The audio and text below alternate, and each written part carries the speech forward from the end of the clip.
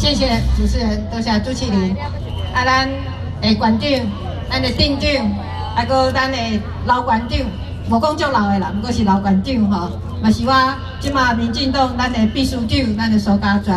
啊，咱的现场，咱的乡亲时代，大家安安大好。中华喜今天能够来参加我们黑尾鱼的观光文化季，啊，这是十一年前就开始的代志，就是咱的长的苏家全在做馆长的时阵就开始的代志。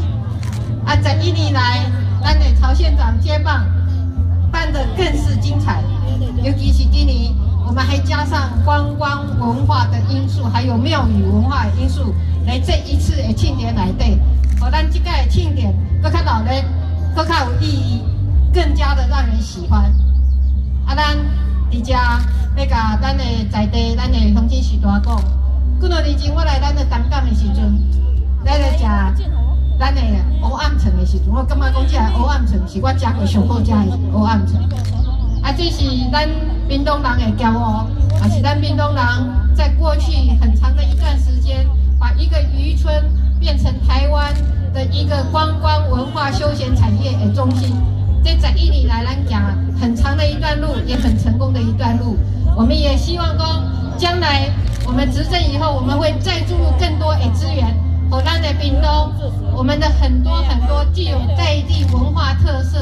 诶农业，让我们的渔业可以更能够发展台湾的经济，创造我们更多诶就业机会，让我们的乡村。我们的非都会地区更繁荣，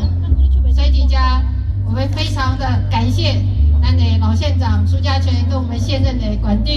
咱的周馆长，啊，上重要的是咱的店长这几年来的努力。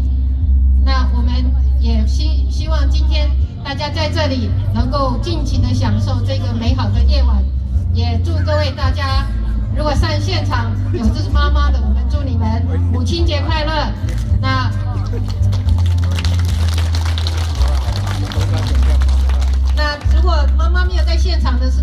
回家也带向我转达母亲节快乐？中华裔的，登来咱的屏东，我感觉就温暖的，啊，就老来的，这是咱的屏东的特色，又温暖又热闹，这是我们屏东人最温暖的时刻，也是咱屏东人上让人难以忘怀的所在。所以欢迎大家来屏东，尽情享受屏东。谢谢大家，谢谢，再次谢谢小艺主席跟我们的分享。呃，特别利用这样机会。